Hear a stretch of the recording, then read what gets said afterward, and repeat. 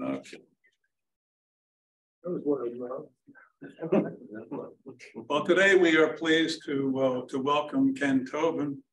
Uh, he's the Chief Research and University Partnership Officer at, at Oak Ridge Associated Universities, and he's going to speak to us about 35 years of science and technology research and leadership at ORNL and ORAU. Uh, holder of 15 patents, Ken uh, is known for pioneering ORNL machine learning methods for semiconductor device yield improvement and telemedical diagnosis of diabetic retinopathy and other blinding eye diseases. Amazingly, he has uh, licensed his, his patents and, uh, and copyrights to more than 20 uh, semiconductor device manufacturers and suppliers. Uh, his patents license for, for use in the early detection of blinding diseases remotely have saved the eyesight of tens of thousands of working Americans. Last year, he was selected as a fellow of the National Academy of Inventors He's authored and co-authored um, more than 180 total publications. As Chief uh, Research and University Partners uh, Partnership Officer at ORAU, Ken has been growing ORAU research enterprise, expanding partnerships with the consortium's universities, and fostering business development opportunities with the federal government, national labs, and, and private industry. Before ORAU and uh, before joining ORAU in 2020, he served in numerous research leadership positions at ORNL, including director of the Office of Institutional Planning and the director of two research divisions, which were the uh, which are the the reactor and nuclear systems division and also the electrical and electronic service research division, for, formerly known as I&C or in instrumentation and controls. Uh, Ken earned his BS degree in physics and his master's degree, his MS in, in degree in nuclear engineering from Georgia Tech, and his PhD in nuclear engineering from the University of, of Virginia. Uh, his doctoral dissertation contributed to advancing computational imaging methods for neutron radiography. His list of awards is very long, and I, I, I, I won't go into them at, at fully, but a full list of, of his awards are listed in the Oak Ridger, the, the article that announced this meeting on our website, and also uh, will be on the YouTube video that, uh, that I will post of, of his talk.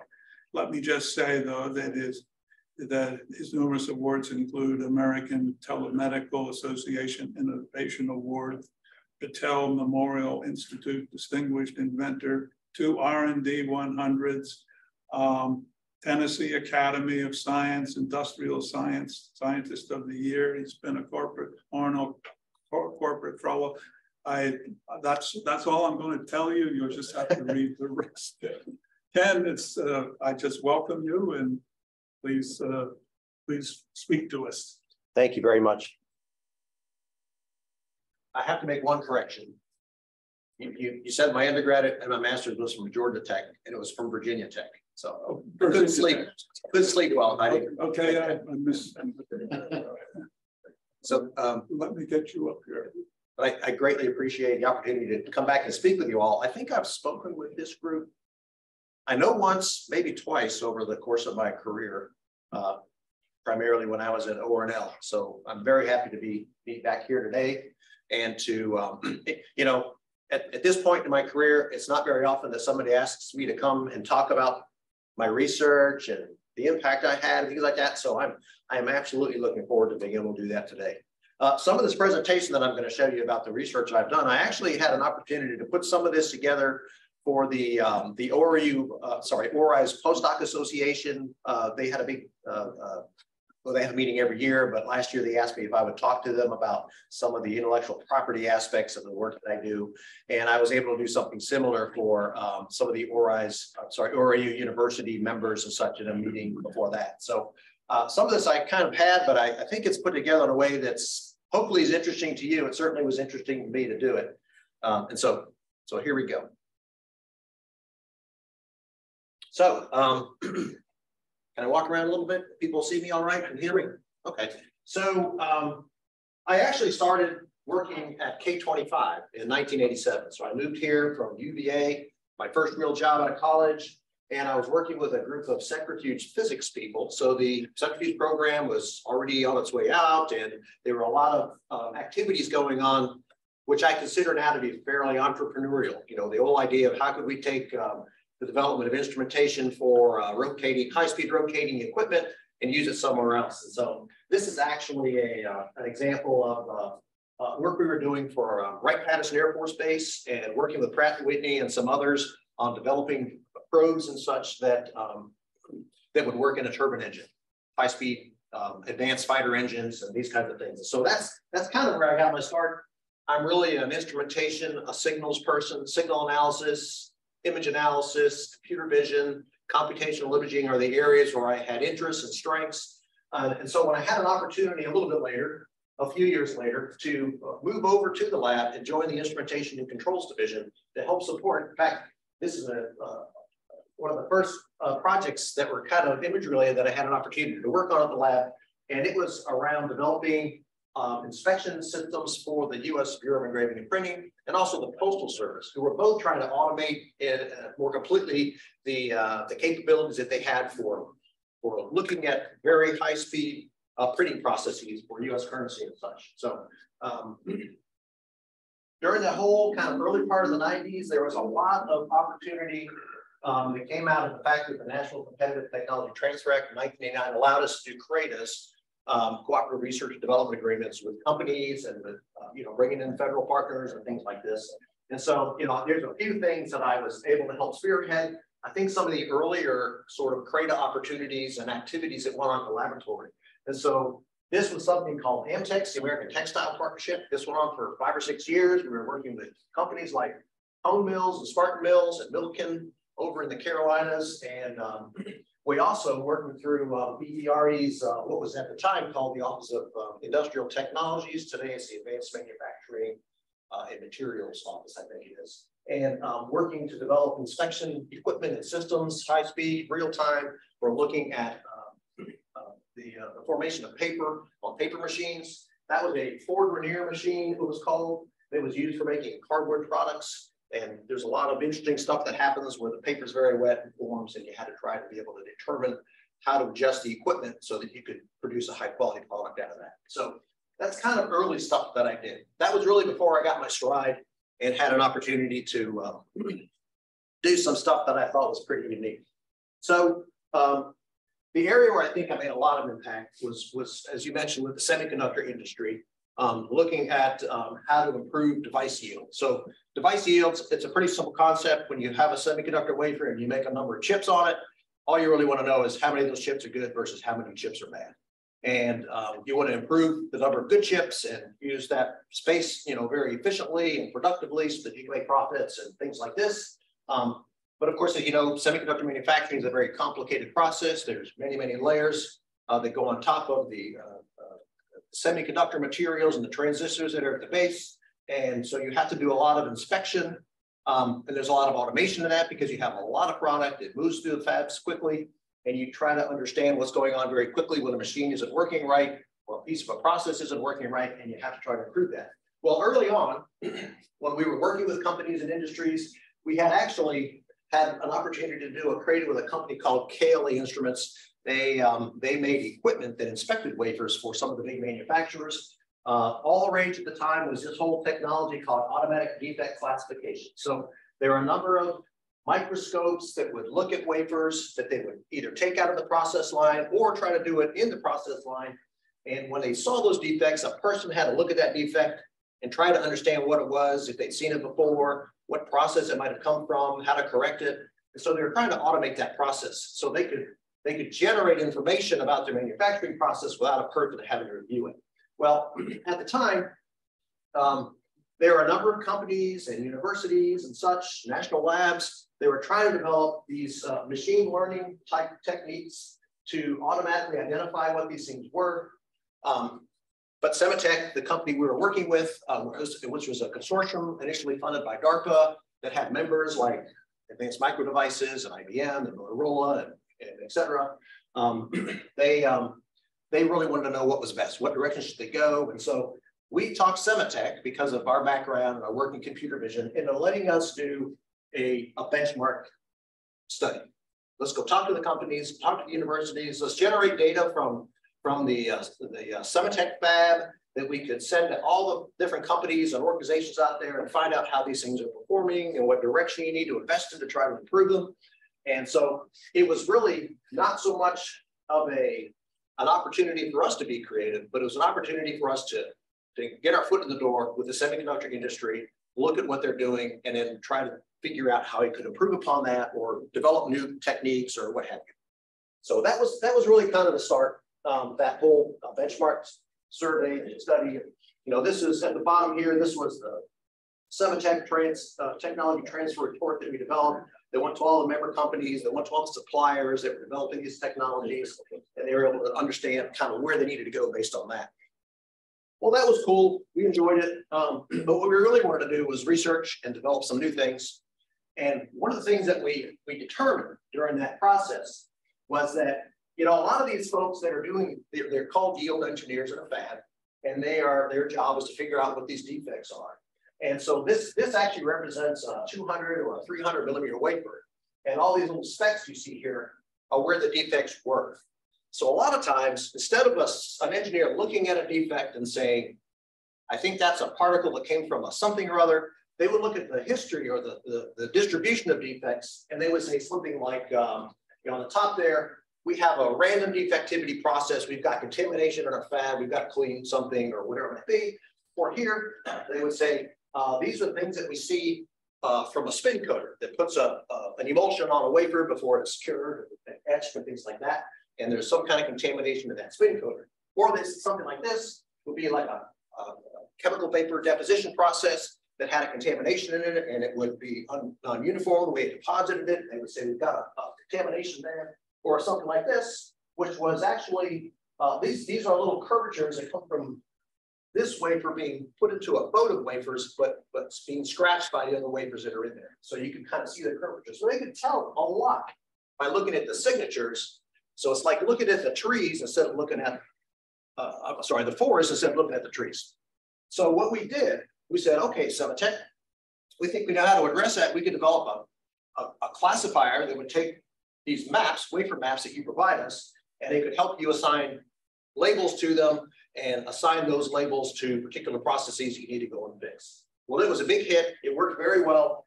We used a uh, just called spatial signature analysis. Um, uh, the other interesting thing about this problem is a lot of times these things overlap.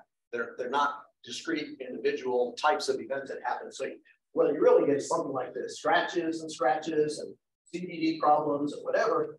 And so the process that we developed would actually separate out all these different categories of things so you can see that there may be more than one thing going on at a time that you have to fix. And um, so we developed a classifier, a quick way to train, a quick way to generate result. Um, you could run these things uh, in an automatic mode and it would send reports to uh, yield engineers on an hourly or a daily or a weekly basis, whatever they needed so that they could understand the mode. Very positive. Um, so positive, in fact, that a number of the uh, companies that worked with Sematech said, we want that in our fab, we would like to license it from you. And so because of the nature of the, um, the contract that we had in place with Sematech and Oak Ridge National Laboratory, it was what used to be called a work for others contract. Now it's called a strategic partnership uh, program. Um, um, we didn't have the rights to royalties and things for those licenses, but Sematech got to do it. So if they if they license it to one of their member companies, their member companies got to use it. If they license it to a company outside of them, um, then they would be able to collect royalties, but ORNL didn't get to. And so we didn't like that idea. We thought, you know what, we've, we've got to have our own background intellectual property that we've developed that we could bring to Sematech. And so even though we were very successful with a number of licensees uh, and the kinds of things we were doing, we wanted to try and create something that ORNL would own.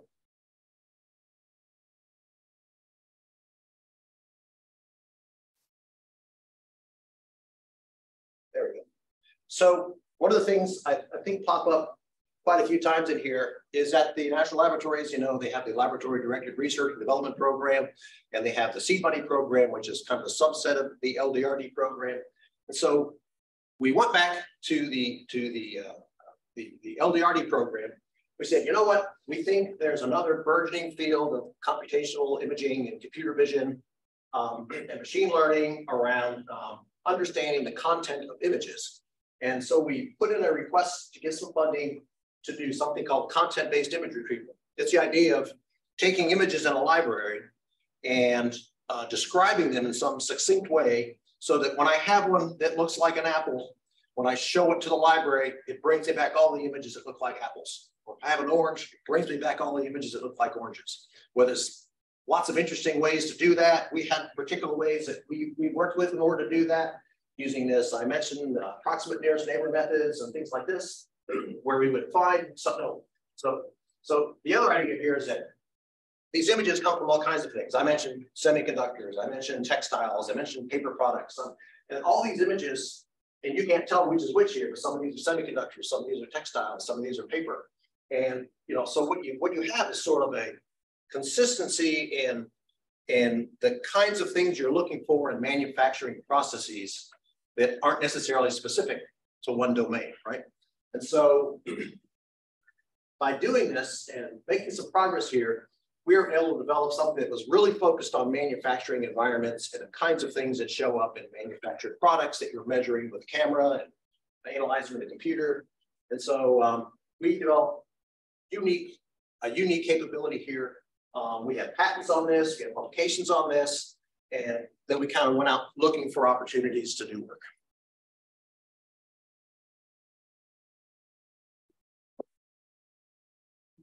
So this led to a lot of things, actually. Um, some of them were, were more, more um, um, visible in terms of uh, licensing and things like that than others, but it was all very interesting work.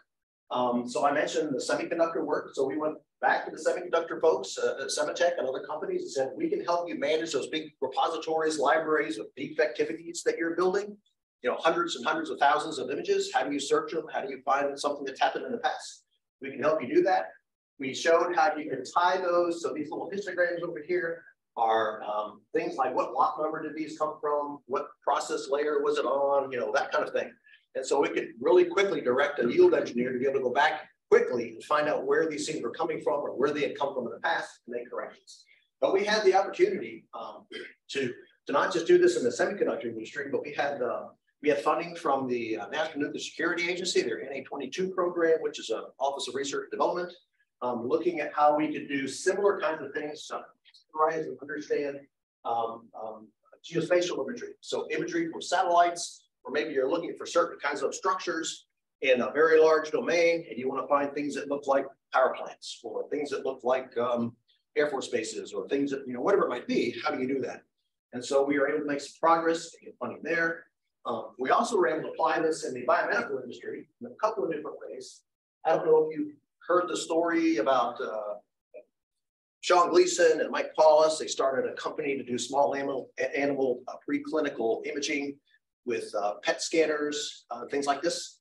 Um, so um, they they started. They also started a company out of ORNL, and then they came back to ORNL. They're both working there today. But um, their company was eventually picked up by uh, uh, Siemens Medical, and um, but that work that they were doing also generated a lot of information from, for example, uh, mice. So they were looking at things like this is a picture that came out of a study on polycystic kidney disease, and where you're trying to understand and characterize various kinds of states of disease or treatments or whatever it might be. And so the idea of being able to use this to try to characterize large repositories of mouse images, or, and this is one I'll talk a little bit more about later, um, looking at retinal imagery. So we had an opportunity also, um, and in fact, this is back when Lee Riedinger was at the lab still, deputy S&T. Um, he brought a bunch of folks from um, the uh, University of Tennessee Health Science Center in Memphis over to, to Oak Ridge to meet and just talk about things we might be able to do together.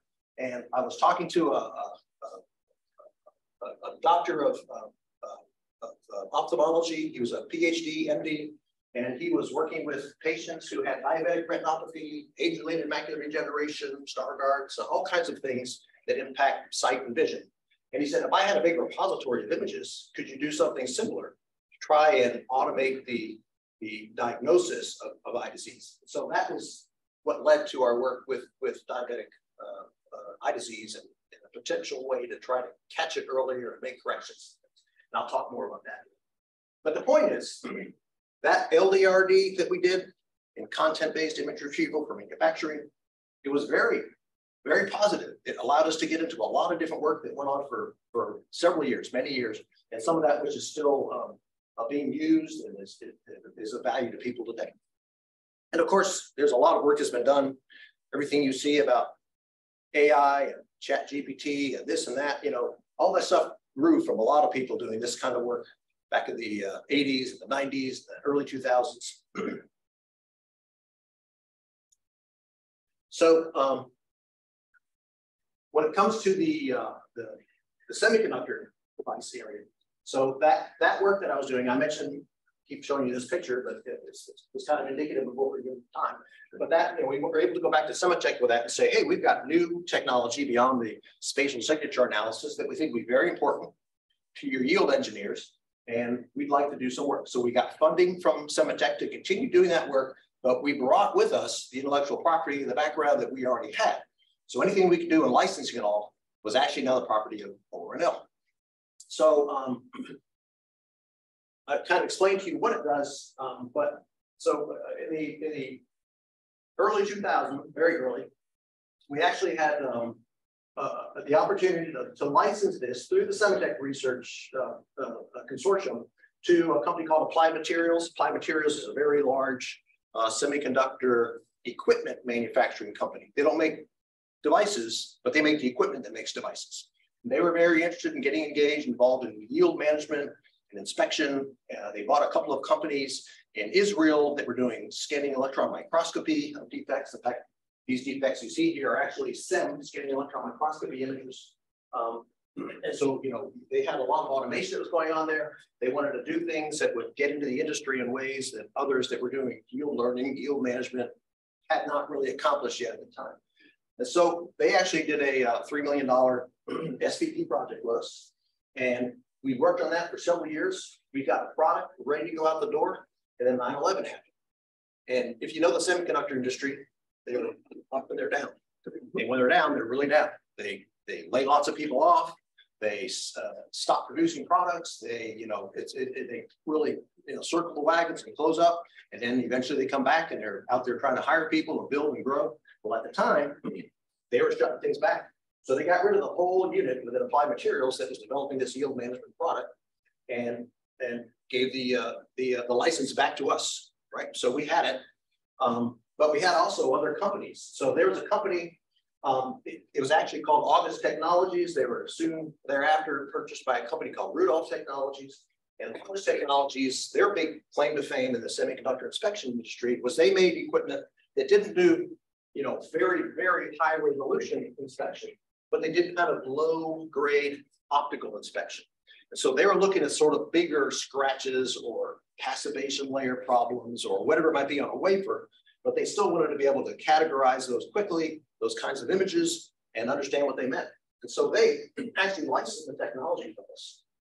Um, I guess around 2004.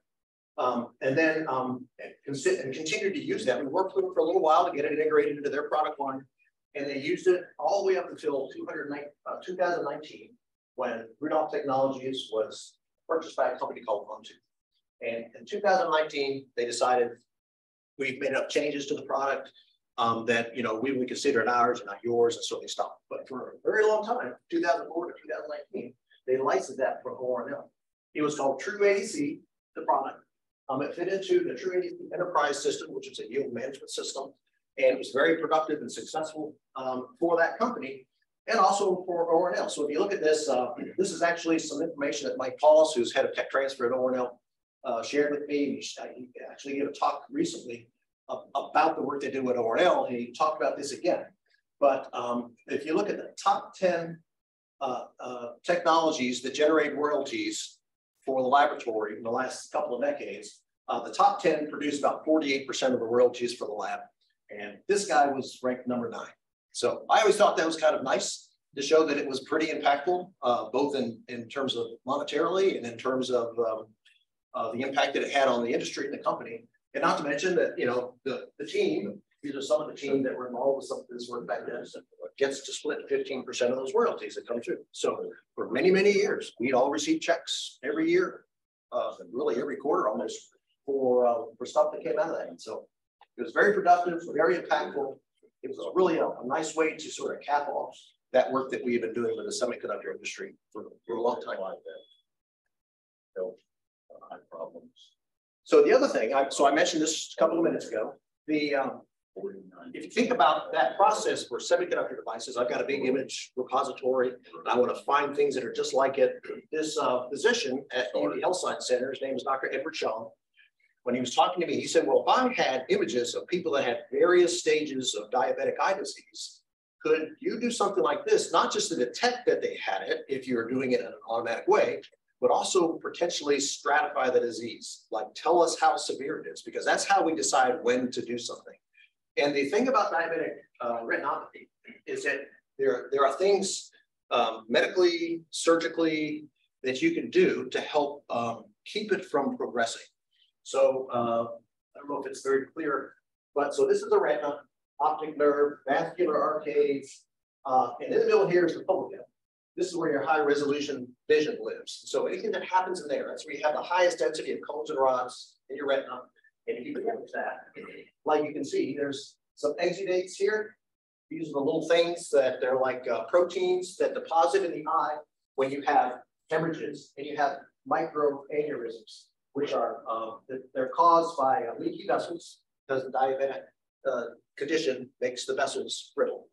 Um, and when they leak, the retinal pigmented epithelial layer, which is underneath the retina, pulls those fluids back out as quick as it can, and it tends to condense these exudates out. And when those exudates pile up, they cause ischemia or lack of oxygen to the, the uh, nerve fiber layer there, and those nerves die, and you lose sight there. Once that happens, you can't get that sight back. So that the trick is to catch it early enough where you start to see these microaneurysms or even these major hemorrhages. And you can do things like laser surgery, which cauterize them and stop them.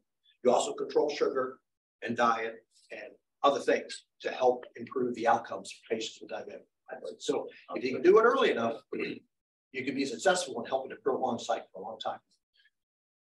The problem is there are uh, hundreds of millions of people who have diabetic, have diabetes, and many of those people have early to late, you know, stage uh, diabetic retinopathy and the potential to, if not the actual fact of losing sight along the way.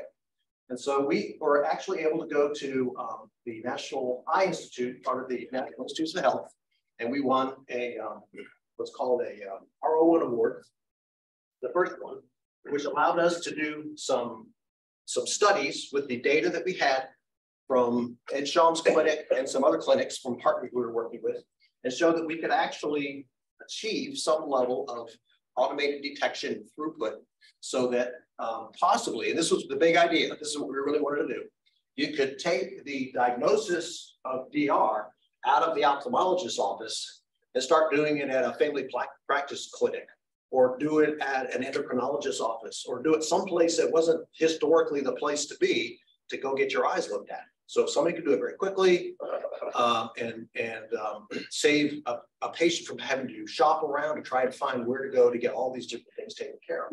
So that was the idea, and that's kind of the direction we moved in. So we did really well with that. And then once we had some proof that there was potential here, we applied for a second round of NIH funding uh, to actually do some testing, to do some, um, uh, to develop a network um, that would allow us to demonstrate the efficacy of this for, well, for the NIH at first. And um, so let's see. I think I skipped one. Can you go back one? Yes, sorry. So, um, so one of the outcomes of this was, yes, we had the automation piece, which allowed you to detect the disease presence and then stratify, stratify the severity of the disease. Um, but we also developed uh, a network, a telemedical network that was HIPAA compliant, so it would protect uh, per, uh, uh patient information, doctor information. And we um, were able to reach out through a number of funding agencies that help support the effort beyond what we were doing with the NIH and set up uh, systems at clinics in the Delta Health region, uh, Delta region, um, uh, all around Memphis. Uh, and we had a colleague that was over in North Carolina, and we worked with her as well. And um, we were able to demonstrate a lot about how this could work, how it could be used to, to increase the, the, the, the throughput and the follow-up and you know just the, the outcomes of people who had diabetes who were at risk of diabetic retinopathy and disease. Um, so we also had some very specific patents that grew out of that that helped support the, the whole concept, the, the network and the analysis and such. And I will tell you, in, in all honesty, the, um, the uh, diagnosis piece, even though we could do that automatically, later on when I'm talking about companies and such, uh, and, and, and, and, turn this into a commercial venture, it, it's, a, it's a real challenge through the FDA to use computer vision or automation, machine learning or AI to make a diagnosis of a human disease. You always have to have a doctor that does an overread. So if you're familiar with uh, digital mammography, you always have a radiologist or an oncologist that has to take a look at those. And a similar kind of thing has to happen. You don't have to have an ophthalmologist look at a retina, but you need to have a certified reader or somebody that verifies that the decision that was made is a reasonable decision. And so that's that's still an issue today. But as as uh, machine learning and AI gets better, as we can eventually show, and I think we already showed it, even with some of the data we had, that the machine learning system could perform as well as or better than a trained ophthalmologist, which isn't good enough, right?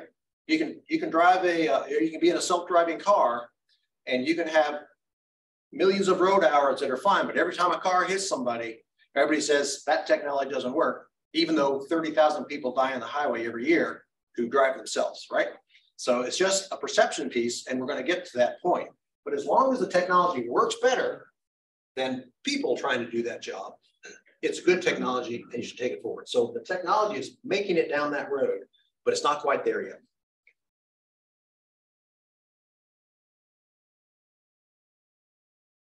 But this did lead to the startup of the company. So while I was at ORNL, I was able to um, um, work with the Department of Energy, work with the UT Health Science Center, work with UT Battelle, and license the technology to ourselves to start a company. Now, we didn't start that way. We actually worked with a bunch of venture capital companies. We went outside of the laboratory to try to make it available to others to license. And because of that sort of FDA issue and how automation, how much automation you could really put into the technology, a lot of companies said, right now it's too risky we don't want to do it. Well, Dr. Chaum and myself, we said, that's crazy. This is great technology. We want to try to do it. So we were able to license it from the lab um, through licensing agreements with all three of those parties that I just mentioned and start a company, which was called Hubble Telemedical. And we started that in 2009. And um, we, um, we quickly, not quickly, but reasonably quickly, were able to get uh, venture capital funding from a company called MB Ventures in Memphis uh, that allowed us to hire a CEO and a couple of software programmers and a couple of marketing and salesman folks and, and start a company, which we ran out of, of Knoxville here for several years. Um, so it went on for about five years, I guess. Um, and then uh, after, after we made it to a certain point, we had sales, we had subscriptions to a telemedical service that um, allowed you to put this into uh, various types of clinics and doctors' offices uh, and provide uh, relatively quick results back from taking a picture of the retina. Um, by having a, we still had to have a physician overread or a licensed uh, reader that looked at your data and provided you with a, a, verification of what the machine did, but it was still successful and it showed that it was a, a very marketable product. And so a company called Welch Allyn purchased our company in 2015. Um, and um, just with about, within about a year, they were acquired by a company called Hill-Rom, which was another medical company. And um, the, the, the, cool thing about what Welch Allyn was doing at the time, and then uh, um, Hill-Rom adopted it was, see this little camera here? This is a little fundus camera. It's a digital camera. It was very easy to use. Um, the cameras that we were using before were cameras that come from companies like Leica and others companies. They were $26,000, $30,000 a camera. This camera was about $5,000. So they made it more likely that you could get cameras out in the field to all these organizations that were going to be hosting this, uh, this telemedical review for retinal disease. And so that also made it, uh, that wasn't our camera, but it was a good quality camera. It was low cost and it made it easier to attach it to our telemedical network, which we had created to help support the whole process. Um, and so, you know, from, from startup to purchase took seven years. Um, it's been working wonderfully as a product for automating and, and, and doing remote diagnosis of retinal eye disease ever since. And the kind of neat thing, this happened last year, last summer.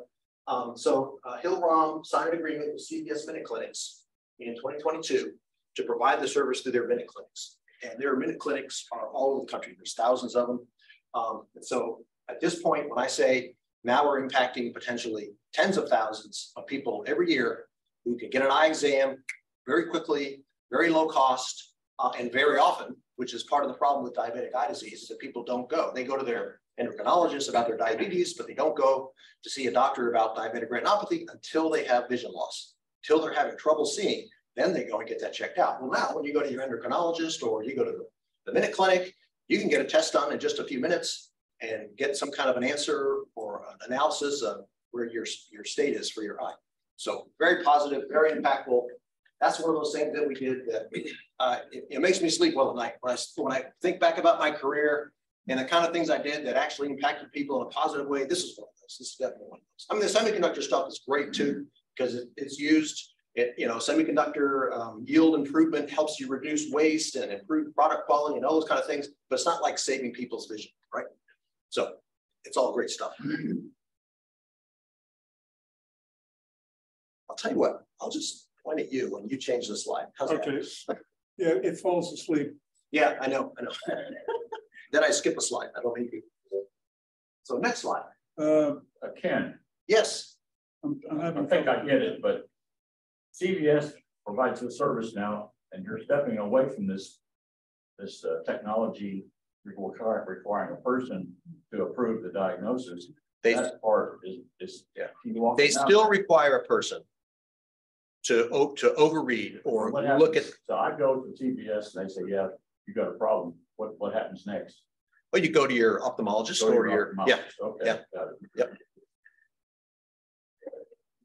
Okay, now there's a lot of things I did at ORNL that I really enjoyed. In fact, I enjoyed everything that I did there from research to management to everything. But this was kind of a special thing, so I thought I'd throw it up here at the end. Don't worry about the math too much. Um, when I was doing my PhD at the University of Virginia, I was working in computational imaging around neutron radiography, and I was using something called coded apertures. And a coded aperture was like a, a pinhole camera. You remember the old Brownie camera? Yeah. It's a very simple thing. Well, if you wanted to get more light in that camera, you had to make the aperture bigger. If you made the aperture bigger, then you made the image blurry. So the signal noise versus signal, you know, that was always a trade-off, right? Uh, coded aperture is a particular kind of a pinhole camera, and that's what this is. That has it's defined, its resolution is defined by the smallest feature here. If you think about that little black dot as being a hole, but its collection efficiency is defined by the number of holes. So it has a very, you know, it have, can have a very large area you can collect a lot of, uh, in this case, neutrons through it, um, but you can get resolution that's very high based on the, the, the holes. And it's a, it's a challenging technique to use uh, for, for various reasons. But and historically, the way it worked, when I did my research, it was this way. So people developed these cameras to look at gamma stars. They used to send them up on uh, hot air balloons in the upper atmosphere. They point them at the sky and they try to find out where gamma ray stars were in space, right? So you needed to be able to collect as much uh, gammas as you could, um, but still have some resolution so you could identify where in space they were. Well, when I was doing this research, you had a neutron beam that shined on an object, or you had a radioactive object, either way. And then you put your lens over here, your aperture over here, and stuff that would scatter off of it would hopefully go through the lens and you would collect it and try to determine something about the structure, that, that type of thing of, of that object. Well, that was what I did my PhD work on. Many years later, when I was uh, still a division director Uh, the group that I led for 17 years was now being led by uh, uh, Philip Bingham, a fellow named Philip Bingham, who's still there. He's a section head of the lab today. Um, I was talking with him one day and I said, I've been doing some math and I did go through this because we're trying to work with the, the neutron sciences folks more out of my division. Um, we had an opportunity to work with the new cold guide Hall beams over high flux isotope reactor called CG1D in particular. And um, we said, you know what? I think there's an opportunity for us to get past this process of looking orthogonally or sideways to the object, but doing it in transmission. If we put the aperture here where the beam is, and then the recorder here, as opposed to um, the aperture here and the recorder here, I think you get a lot more signal. You could get very uh, interesting information about your object, and you could do it in a way that is unprecedented for neutrons because you've got a limitation to the, uh, the resolution that you can achieve because it's usually a function of the size of the detectors that are in your, in your, your, your, your camera, the thing that you're looking at the neutrons with. Um, but when you do this, now it becomes a, a function of the size of that, that hole. And so we proposed this and I worked with Philip. Next slide, please. and we went back to the LDRD committee. We said, hey, we've got a great idea.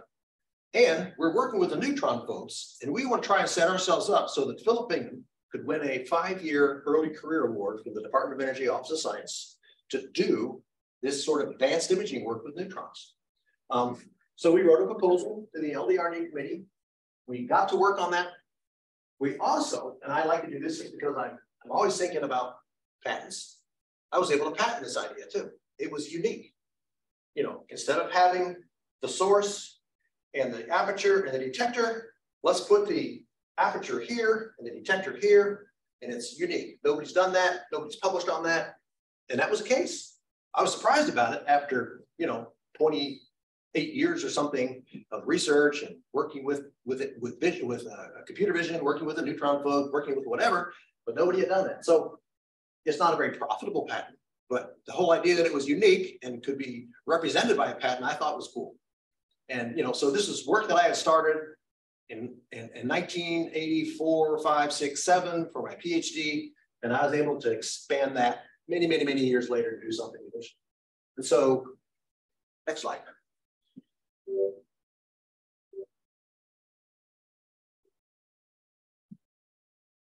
There you go. And so there's Philip Bingham up there. So um, because of that, that seed money award, and doing with um, folks at SNS, we were able to uh, help him position himself and win an early career award from Basic Energy Sciences. And so this is just an example here. So this is a wafer type material, like a silicon wafer, and printed on top of it are a number of different things. That, that wheel in the middle is just a resolution target. But these other, other squares that you see here, these are various um, resolutions of coded apertures. And so we use for neutrons gadolinium. Uh, and there are some other interstitial layers that help the gadolinium stay on. But we were able to make a whole bunch of different apertures, different sizes, build the heavy lifting on this with a lot of folks from the Center for Nanophase Material Science and working with HFIR and everything else. Um, and he won that five-year program, which really was, it's a, it's a wonderful thing to win one of those early career awards. And throughout a lot of my career, we didn't necessarily do a lot of Department of Energy work. We did some, but you know, we weren't part of the material science or the biosciences or the neutron sciences. The I&C and the Electrical Electronic Systems Research Division and those kind of things, they're sort of not jack of all trades, but we could uh, approach problems uh, from a lot of different directions. But we didn't, we weren't owned by anybody at the Department of Energy. So for a, a guy that was in a, uh, an instrumentation division to win a five-year early career award was really great, really great. But so what you can see, this is, if I this is an example. It's a, it's a very small screw, 16 millimeters long. If you put it right on the detector and just took a picture of it, that was the highest resolution that detector could give you for that screw with neutrons. and you can see it's, you know, not great. If I blow that up so it's comparable to these, um, you can see it's not very good resolution.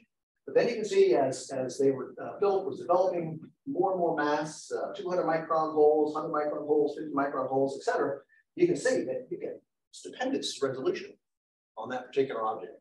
Um, now, there's a lot of pictures like this that I have that look at these targets, the resolution targets and stuff, but they're not as interesting as saying, oh, I understand that. There's an object that is blurry and that one looks a whole lot better. So it was very successful from that perspective.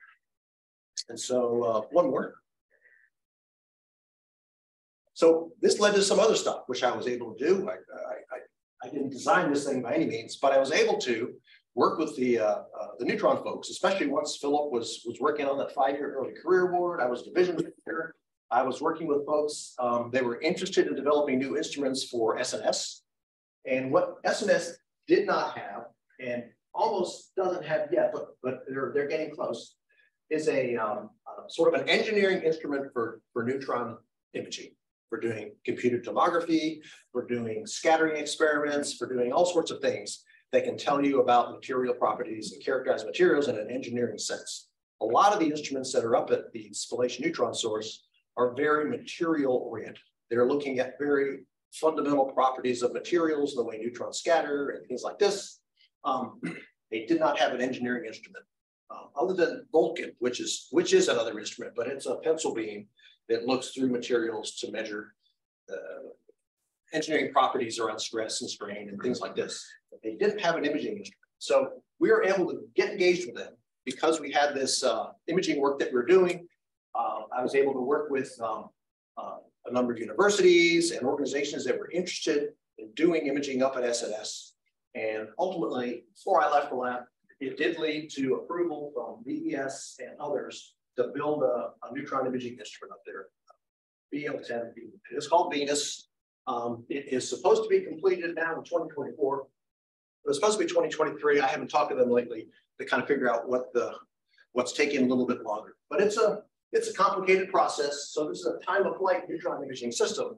And because it's time of flight, that means that you can look at neutron energies. So you can look at an object at different, different neutron energies, and that tells you a lot of things about the material and the properties. Um, so the stress strain, magnetic properties, a lot of things that you can tell from this that you can't tell from a uh, what I'll call a white neutron beam that you would see at something like CG1, the high flux isotope reactor. So really unique. It's supposed to be online in 2024. I will be up there first to see it once they get there. But I was able to work on that before I kind of got out of the technical aspect of things at the laboratory.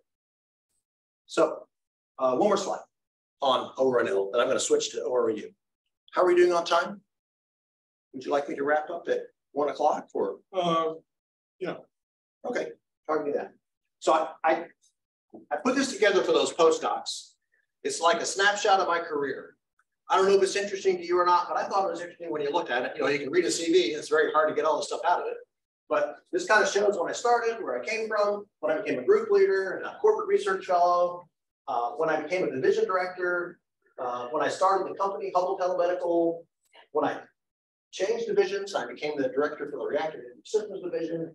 Then I moved into the institutional planning to help with that process at the laboratory. And then when I retired in 2020 and I moved to ORAU. But the kind of fun stuff. So these are, if you look at like Google Scholar, and you look at people's publications. Um, so these, these are not numbers of publications. These are the number of publications of mine that people cited. How many times people cited my publications. And so you can see, you know, early on, nobody, nobody looked at my work. Later on, some people looked at it and it grew and grew and grew. And you can see it kind of peaked out here in the mid 2000s. And of course, now it's starting to, to peter out because I don't do research anymore. And I'm not publishing really anything new. Um, but you can you can kind of see that. Then you can see when the patent showed up. There was two here, one here, four here, three here, whatever. So you kind of see the patent history as well overlaid there. And then uh, those awards that, that uh, you were talking about. Um, so, you know, you kind of see when those happen. But, you know, like I became a fellow of SPIE around 2001, um, fellow of IEEE in 2012. And, uh, just actually it's this year, the award ceremony is next month. I was elected to be a fellow of the National Academy of Inventors. Anyway, so I thought that was just like a nice snapshot of my whole career. I could have just showed you that and we could have moved on, but I wanted to show you the other stuff. Uh, next slide.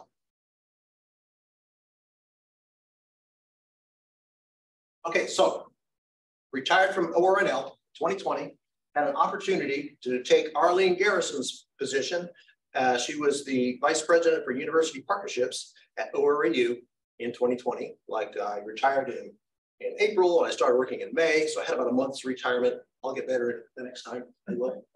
Um, so I've been at ORAU since. So um, not only did I, uh, I start there in, in, in uh, the spring of 2020 as the vice president for university partnerships, but fairly soon after that, within about six months, a fellow named Eric Abelquist, who was the uh, senior vice president for research at ORAU and the university partnerships was under him, he decided to retire. So Andy Page asked me if I would take his job plus my job and put them together and get paid the same amount. And I said, absolutely, I'd love to do that. Because the other part of the job was to really look at the, the sort of research elements of ORAU and how we could maybe expand them in a reasonable way, right? ORAU is not a research organization. It's kind of a service organization, but it's very strong in science and technology, has been forever. And you know, we, we need to think about those kind of things. So that's part of my job, and I'll get into that in a second. But you're familiar with ORAU. I don't have to, we just, uh, I think this is year 76 this year, uh, since it started, the Oak Ridge Institute for uh, Nuclear Studies back in 1946. Uh, we've got almost a thousand employees today, about a $409 million annual revenue, which is good. Over COVID, we were down to about 380 something million. Um, it's been four years, maybe five since we broke 400, but we're going to be about 409 million this year. So we've got some growth. That's a good thing. We're all over the country, really. Um, uh, mostly in Oak Ridge here. We have people in the um, Nevada, Colorado, in Belcamp, Maryland, and Washington, D.C., Huntsville, Alabama, and Atlanta, Georgia, and just a lot of different places. Uh, but those are our main clusters, those five. Uh, we do work with a lot of different agencies, not just the Department of Energy, but they are our biggest, biggest supporter. And, um, and we have a consortium, which I'll talk about in just a second. In this piece, you're familiar with ORISE, Oak Ridge Institute for Science and Education. Um, it's our biggest contract, and we've managed that for the Department of Energy forever, for a very long time. And this piece, it, it, it always wows people. And when I first heard this and saw this number, you know, we're, we're almost at 10,000 participants annually that we place at DOE labs, federal laboratories, in federal agencies. Um, so you think about uh, having an impact on, on, on STEM, uh, STEM education and moving people in the STEM fields into those areas that are important to the nation. Um, ORISE just does a fantastic job of that. So I always like to bring that up. Uh, next slide, please.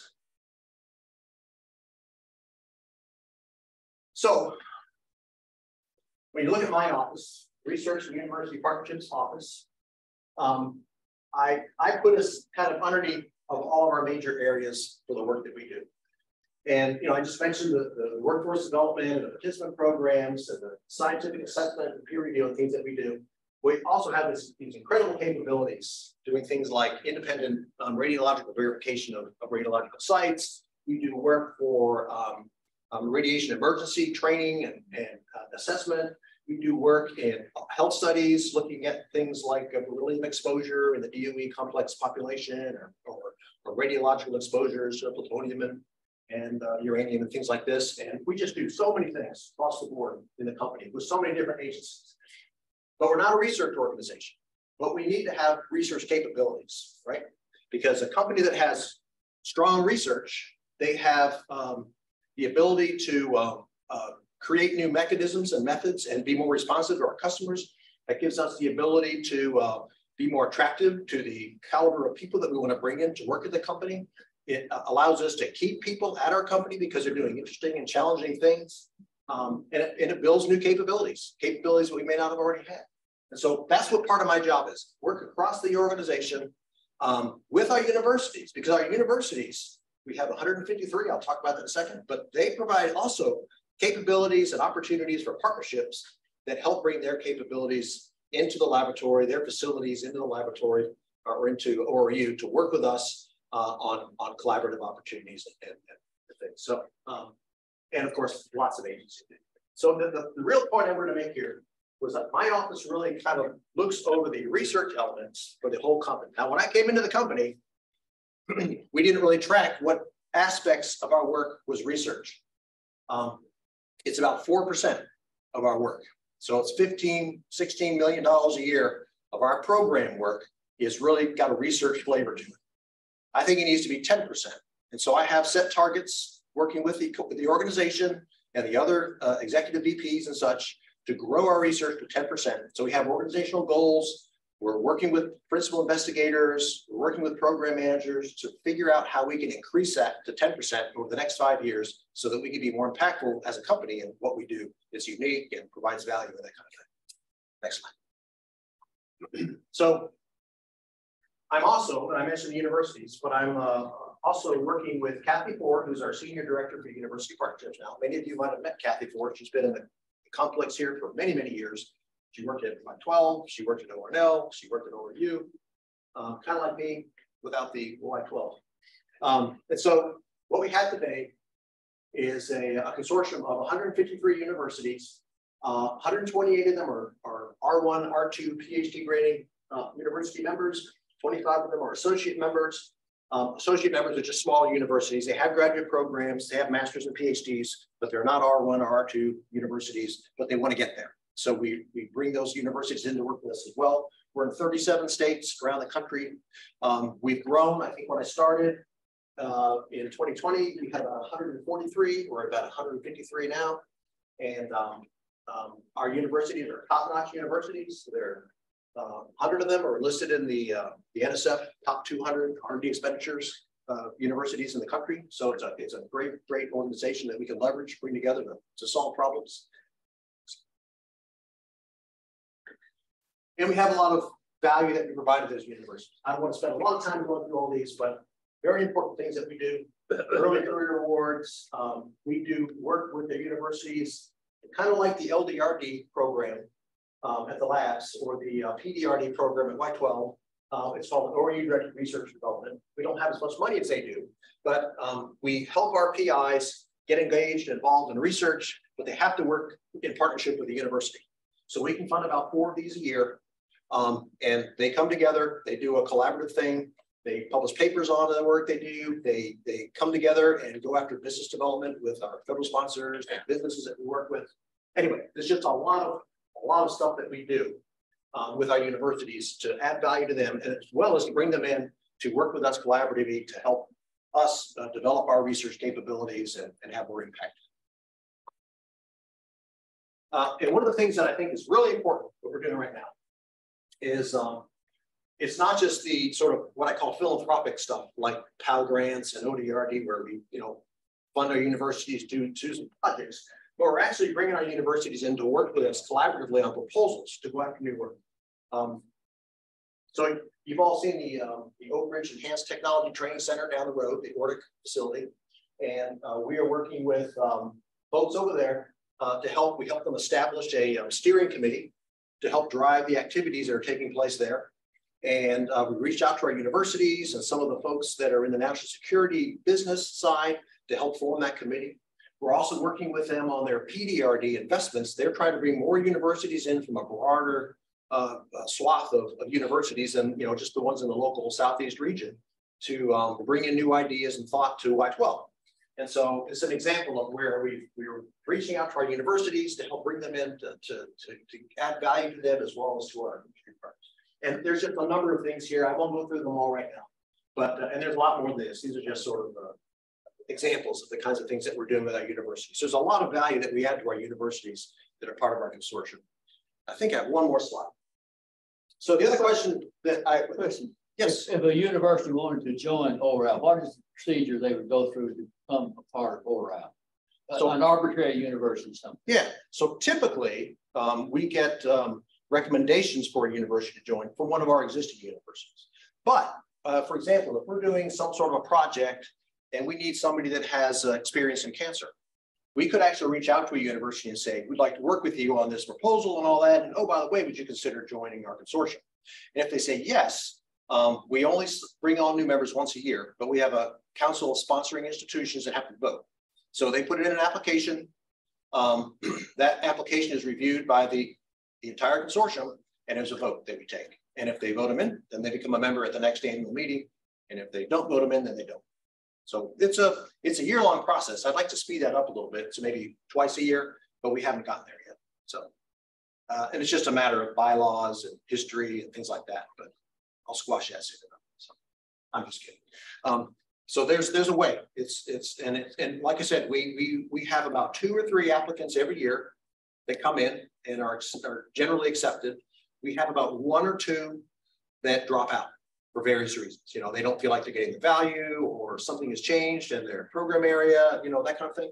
But overall, it's been steady, steady growth of two, two to three a year um, over time.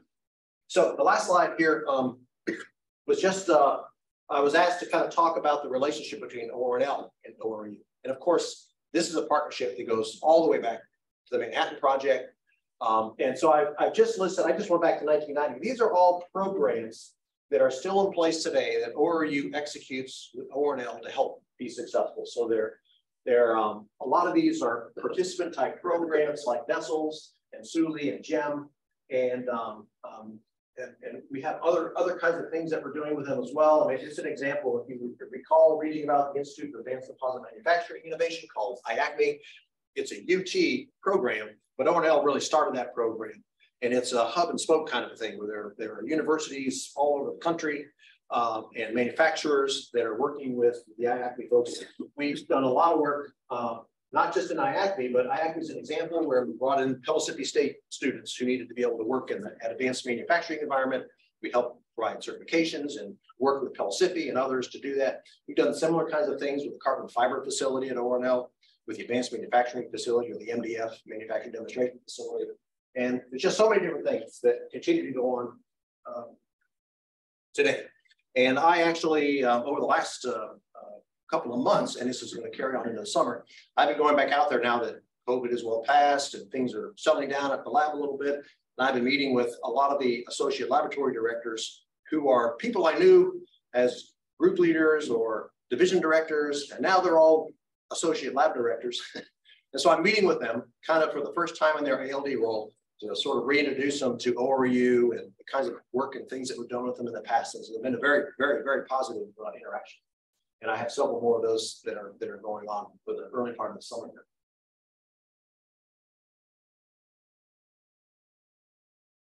That's it. Again, I can start off. I'm on the uh, Zoom session.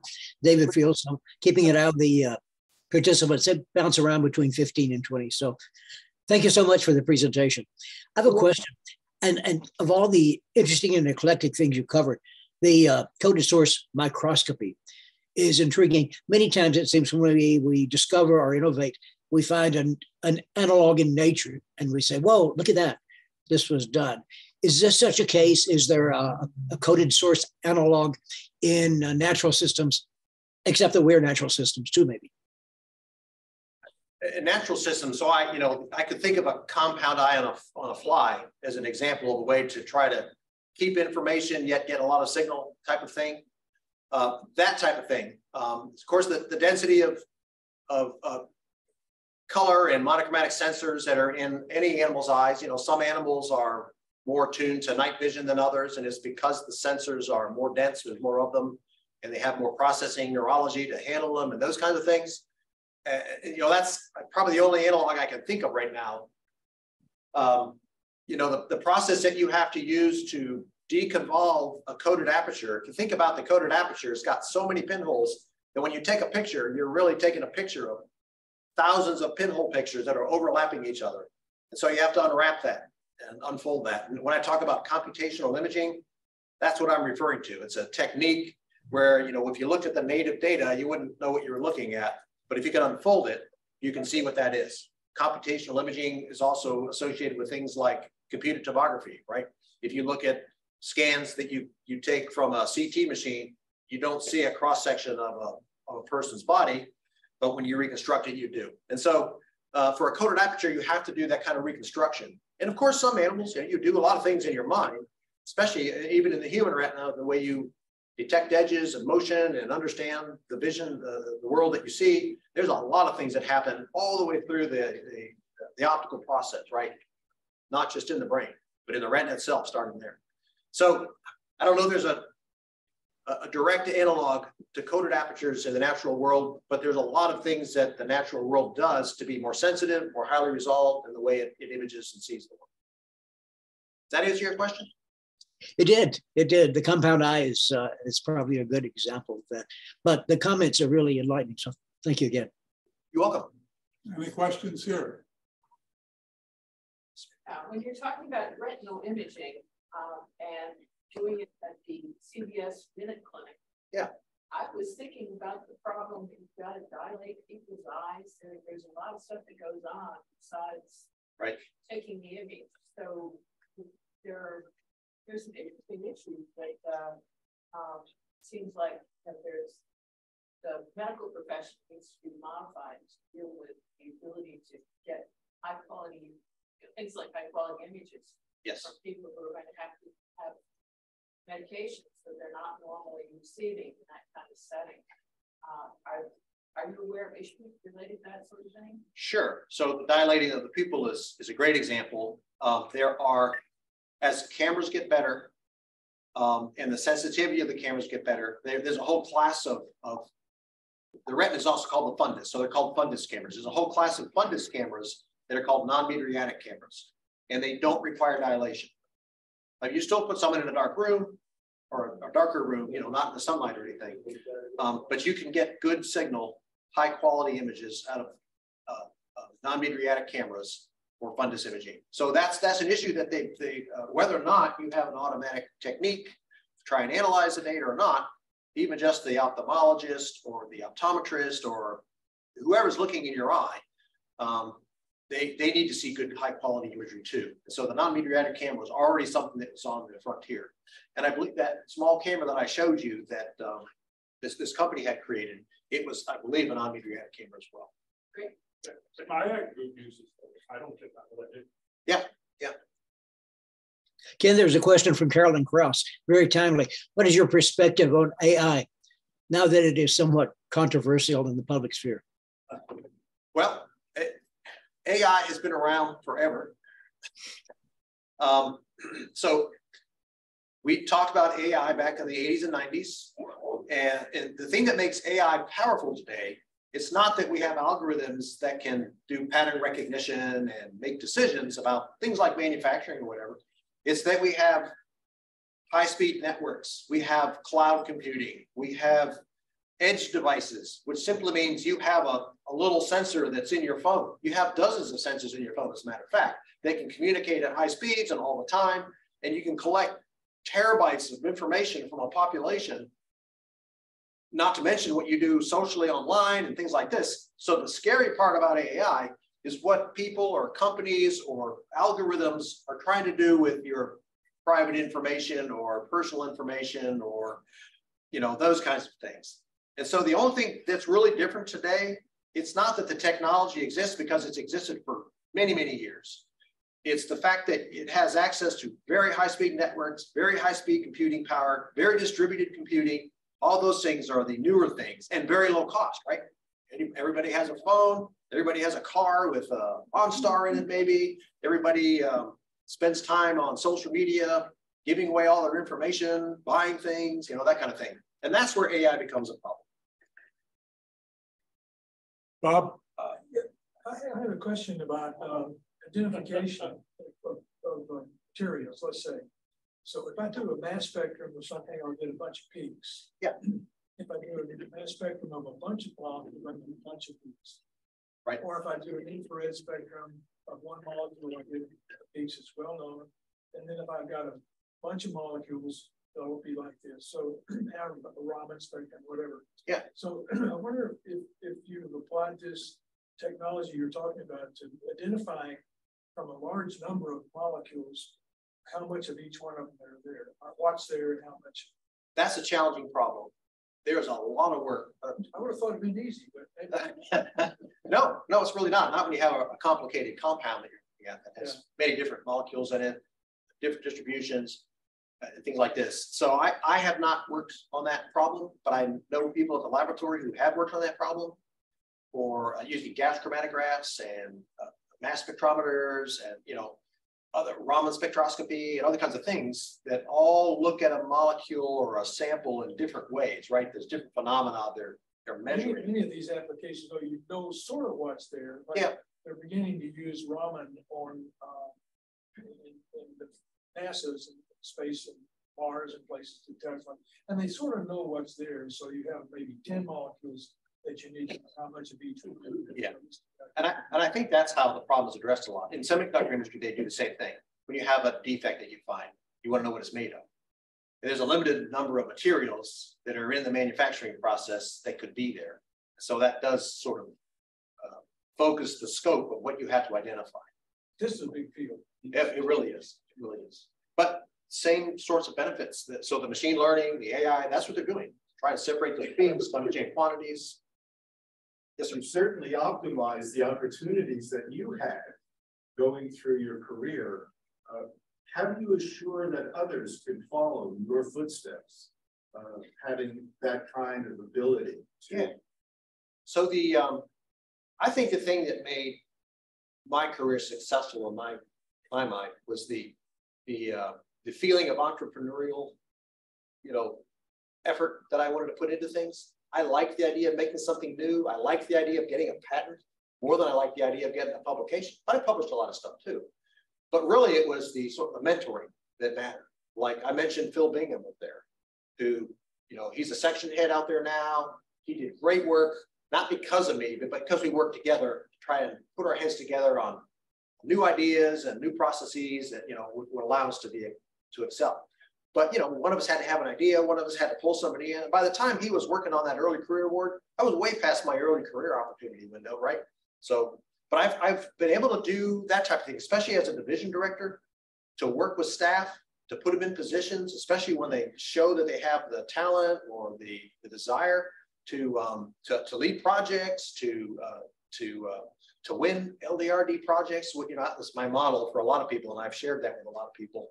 When you have a company that's willing to give you seed funding to create something, take advantage of it. Every time you have a good idea, take advantage of it. But you got to take it further too. Otherwise, you don't get any more of that seed money, right? You got to try to invest it and get more and write proposals, win, win funding and things like that. But those are the kinds of examples uh, you have to set through the mentoring opportunities and career development opportunities. And so I, that, that's really the key, especially you know, at this point in my career, when I talk about what I'm doing at ORAU, there's a, there's a lot of people at ORAU who are kind of early to mid career, who are very technically capable, doing great work. And I'm trying to provide them with opportunities to grow that into new things. So at my age, at my career level, I'm not doing research, I'm not publishing papers, but I'm trying to help people understand what they need to do to get there. And that's that's the best I can do at this point. Great question. Another just a follow up. Sure. Uh, it seems that uh, your, your example of jumping from semiconductors and using that technology of imaging and then going jumping into the medical field, yeah. uh, retinopathy.